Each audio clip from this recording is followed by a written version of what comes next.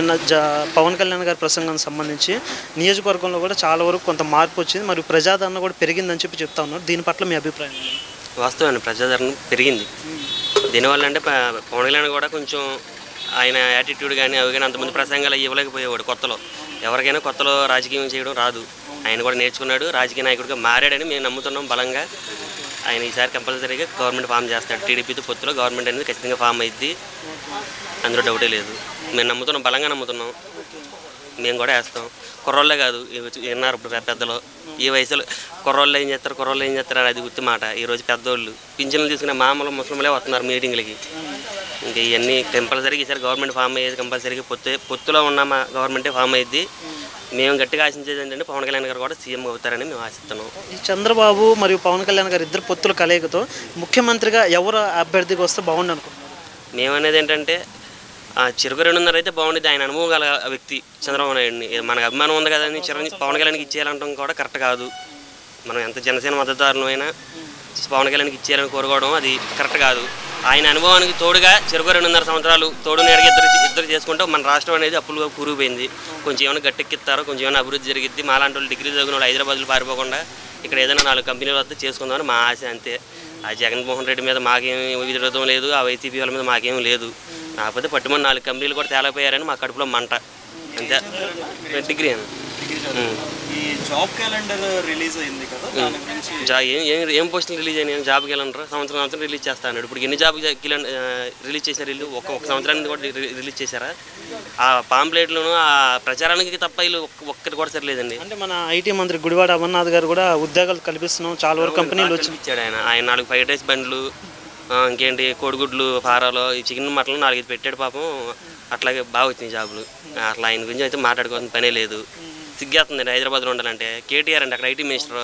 సిగ్గుపడుతున్నాం అక్కడ అక్కడ మా ఐటీ మినిస్టర్ దేని గురించి మాట్లాడుతున్నారు మీ ఐటీ మినిస్టర్ దేని గురించి మాట్లాడుతున్నారు అడిగితే తలగై దించుకుని పక్కకి వెళ్ళిపోవాల్సి వస్తుంది మేము. ఇది ఎట్లాంటి వరకు ఓట్లేసి గెలిపించారు. వాళ్ళ గురించి ఎన్ని మాట్లాడుకున్నా వృధా. ఈసారి అంటే జనాలు కొంచెం మారి ఈ పొత్తులో కొంచెం ఓట్లు నాలుగు ఓట్లు వేస్తే వీళ్ళు ఏమైనా అభివృద్ధిలోకి తీసుకెళ్తారు. లేదంటే ఇంక చేసేది ఏం లేదు ఇంకో బీహార్. పెడన నియోజకవర్గంలో కనుక ముఖ్యంగా తీసుకుంటే జోగి రమేష్ గారికి సంబంధించి అభివృద్ధి పనులు ఎలా ఉన్నాయి? లేకపోతే అందరికీ సమానమైనటువంటి పరిపాలన అందిస్తున్నారు ఇక్కడ? ఇక్కడ అభివృద్ధి ఇక్కడ అభివృద్ధి అని మేము మాట్లాడితే మళ్ళీ మా ఇళ్ళ మీద దాడులు చేస్తాకి ఒక గంజాయి బ్యాచ్ని పంపిస్తారు తప్ప ఇల్లు ఇక్కడ చేసింది ఏమీ లేదు. వాస్తవం అది. పొరపాటున ఇప్పుడు ఆయన పేరు తీసో వాళ్ళు ఇప్పుడు సాయంకాలానికి మా ఇంటికి వస్తారు ఒక ఇరవై మంది ముప్పై మంది. అది పరిస్థితి ఇక్కడ. ఇక్కడ అంతా గంజాయి ఏర్లే పారుతుంది. పందర్ నుంచి పెడన వరకు గంజాయి ఏర్లే పారుతుంది. ఇసుక ఇసుక రాజ్యంగా తవ్వుకుంటున్నారు ఇసుక. అంటే పవన్ కళ్యాణ్ కూడా చాలా సందర్భాల్లో కూడా ఇసుక మాఫియాకు సంబంధించి ఇసుక కుప్పలను కూడా చాలా తవ్వుకొని దాన్ని దౌర్జన్యంగా చేస్తామని చెప్పి చెప్తా ఉన్నారు. అది వాస్తవం అసలు ఇక్కడ? జరిగేదే అది. వైట్ శాండ్లు. వాళ్ళకి వైట్ శాండ్లు గోల్డ్ గోల్డ్ లాగా అమ్ముకుంటున్నారు వాళ్ళు. వాళ్ళు ఇష్టరాజ్యంగా అమ్ముకుంటున్నారు. అది అడిగిన వాళ్ళ మీద దాడులు. ఎంత ఎందుకు? నిన్న ఆయన పవన్ కళ్యాణ్ గారు ముందే అనౌన్స్మెంట్ చేశాడు కాబట్టి ఆగారు. లేదంటే ఇక్కడ పెడంలో కూడా దాడి చేసి ఆయన మీటింగ్ మీటింగ్ చెడగొట్టే ప్రయత్నాలు కూడా ఎన్ని చేశారో మాకు తెలుసు. నేను చాలా కూడా ఉద్రిక్తమైన పరిస్థితి కూడా. ఉండేది. ఆయన ముందు జాగ్రత్తగా అనౌన్స్మెంట్ చేయడం మళ్ళీ నిన్న పోలీసులు కూడా నోటీసులు ఇచ్చారని అయితే ఆయన పవన్ కళ్యాణ్ గారు చేసిన వ్యాఖ్యలకి నోటీసులు ఇచ్చారని కూడా తెలుసు. నోటీసులు ఇచ్చారు. దానికి దానికి ప్రూఫ్ మేమే కన- కనబడింది ఇక్కడ కొరియర్ సీన్ గారి మీద బ్యానర్ మీద దాడి చేయడానికి వచ్చారు వాళ్ళు చిన్న బ్యానర్ విషయంలోనే. అదే ప్రూఫ్. ఇంకేం ప్రూఫ్ కావాలి పోలీసులకి? కొరియర్ సీన్ గారిదే ఇప్పుడు పవన్ కళ్యాణ్ గారు వెళ్ళిపోయిన తర్వాత ఆయన బ్యానర్లు తీసేసుకోమనండి. ఆయన కార్యక్రమం జరుగుతుంది కాబట్టి నాలుగు బ్యానర్లు కట్టుకుంటారు అభిమానులు. మీరు ఆ బ్యానర్లకి ఓరవలేనంత ఇదిగా దాడులు చేసినంత ఇదిగా వచ్చేస్తున్నారు మీరు. మీరు పవన్ కళ్యాణ్ గారి మీద దాడి చేస్తే చేస్తారు ఖచ్చితంగా. ముంజాగ్రత్తగా మేము అనౌన్స్మెంట్ కార్పొరేటర్ గారిని. అయితే దానికి అంత ఐడియా లేదు నేను. వచ్చే వచ్చే ఎలక్షన్లో కనుక పెడ నియోజకవర్గంలో జనసేన అభ్యర్థి మరియు వైఎస్ఆర్సీపీ నుంచి జోగి రమేష్ గారు గారు నిలబడితే ఇక్కడ ఎక్కువ ప్రజలు ఎవరికి ఆదరిస్తారంటారు?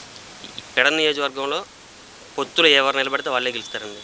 డౌటే డౌటే లేదు. జనసేన అయినా టి- ఆ, ఓట్లు చీలే అవకాశం అంటే కాపులు ఓట్లు ఇప్పుడు చాలా మందికి ఆ, కాపులు అదే ఇష్టపడట్లేదు పవన్ కళ్యాణ్ని టీడీపీలో పొత్తు పెట్టుకోవడం వల్ల అది అది అది వత్తి బోగస్ అండి. కొంతమంది పాలికాపులు ఉన్నారు వైసీపీలో. ఈ పొత్తు అనేది గిట్టనివ్వకుండా ఈ పొత్తు చెడగొట్టే ప్రయత్నాల్లో వీళ్ళు సోషల్ మీడియాని అడ్డుగా పెట్టుకుని ఇష్టం లేదని వాళ్ళ కాపులు కూడా కాదు. ఊరికే ఫేస్బుక్ ఐడి పేరు నాయుడని పెట్టుకుంటారు వెనకాల అంతే. గట్టిగా చెప్పాలంటే. ఈ పాలికాపులు అందరూ ఈ ప్రచారం చేసి పొత్తుని చెడగొడితే ఓట్లు చీలిపోతాయి. ఓట్లు చీలిపోతే మళ్ళీ మనమే గెలవచ్చు. ఐదు వేల ఓట్లు రెండు వేల ఓట్ల మెజార్టీతో ఎట్లా కొట్ట గెలిచి గట్టెక్కి వచ్చిన ప్రయత్నం తప్ప అంత మించి ఏమీ లేదు వాళ్ళది. చంద్రబాబు నాయుడు చూడాలి? చంద్రబాబు నాయుడు అరెస్ట్ అంటే నేను చెప్పేది ఏంటంటే అండి దాని గురించి ఎంత మాట్లాడినా ఇప్పుడు పొత్తి చెడగొట్టే ప్రయత్నంగానే ఉంటుంది నేను నేను చెప్పిన. ఇప్పుడు ఎలా ఉంటుంది అంటే కర్మ ఫలితం ఎవరిని వదలదు. చంద్రబాబు నాయుడు ముద్రగడ గారిని ఏం చేశాడు ఆ రోజు? అలా ఆవిడ్ని పిల్లల్ని అందరూ రోడ్లు ఎక్కారు ఆ రోజు. ఆ. కర్మ ఈ రోజు చంద్రబాబు నాయుడు అరెస్ట్ చేశారు లోకేష్ వాళ్ళ భార్య వాళ్ళు రోడ్ల మీద తిరుగుతున్నారు. వాస్తవమే అది. కానీ అరెస్ట్ చేసిన విధానం బట్టి చాలా తప్పండి ఆయన అవినీతి చేస్తుంటే నువ్వు ప్రూవ్ చేయి జైల్లో పెట్టు. చట్టానికి ఎవరైనా అర్హులే. అవును సెవెంటీన్ ఇయర్ సెక్షన్ సంబంధించి కూడా ఒక ప్రజాప్రతినిధికి సంబంధించి అరెస్ట్ చేయాలంటే గవర్న గవర్నర్ నుంచి పర్మిషన్ తీసుకోవాలి. అదేం లేకుండా కూడా అతను అరెస్ట్ చేయడం జరిగింది. ఇప్పుడు ఆయన ఆయన తప్పు చేయడని మేము అనం. పొత్తులో ఉన్నాడని కానీ మేము వెనకేసి వెళ్తాం కరెక్ట్ కాదు. ఒకవేళ ఏమైనా చేసుంటే నువ్వు దానికి ఫార్మాలిటీస్ ఫార్మాలిటీస్ ఉంటాయి. నువ్వు చట్టబద్ధంగా చేయాలి ఏం చేసినా. నువ్వు చట్టానికి చట్టబద్ధత లేకుండా ఎలా పడితే అలా చేసేసావు కాబట్టి అది రా తప్పు అంటున్నాం మేము. అంతే తప్ప చంద్రబాబు నాయుడు ఇదని మేము మాట్లాడడం కాకపోతే రాష్ట్రం దృష్ట్యా ప్రజలకు బాగోగుల గురించి ఆయనతో పొత్తు పెట్టుకోవాల్సి వచ్చింది కానీ మాకు అంతమించి వేరేదేమీ లేదు. ఇప్పుడు ఈ గత రెండు సంవత్సరాలకి దగ్గర దగ్గర ఒక పది పది పదిహేను పథకాలు ఆగిపోయినాయి. వీళ్ళు ప్రచారానికి తప్ప అవి రావట్లేదు. ఓన్లీ ప్రచారానికి వీళ్ళు పెట్టే ఖర్చుతో వేరే వేరే పేదలకు ఏదైనా మేలు చేయొచ్చు వీళ్ళు. ప్రచారానికి వాడే ఆ డబ్బులు పథకాలు కూడా వాళ్ళ వర్గానికి సంబంధించి కొంతమందికి అందుతున్నాయని చెప్పి అన్నారు. అది వాస్తవం వాస్తవమే అది. వాస్తవమే అది. ముందు ఎందుకంటే మేము చూస్తున్నాం. మేము ఆల్రెడీ సచివాలయాల్లో చూసినప్పుడు ఫస్ట్ ఇయర్ వచ్చిన వచ్చిన పథక సంఖ్య సభ్యులకి ఇప్పుడు వచ్చే సభ్యులకి తగ్గిపోతున్నాయి. దేనికి కొంతమంది ఏమైపోతున్నారు? ఉన్నట్టుండాలి చచ్చిపోతున్నారా? లేదా ఏమైపోతున్నారు వాళ్ళు? ఆ పద రావట్లేదు.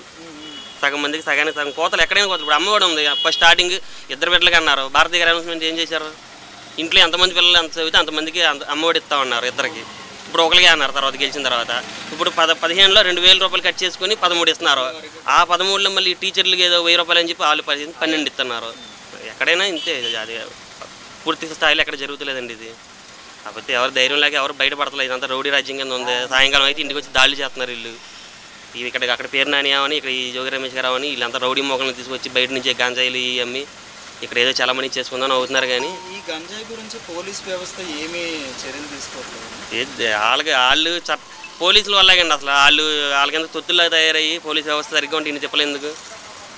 అధికారం ఉన్న వాళ్ళకి ఒకలాగా అధికారం లేని వాళ్ళకి ఒకలాగా పోలీస్ వ్యవస్థలు పనిచేయడం వల్ల ఇది ఈ జరిగేది.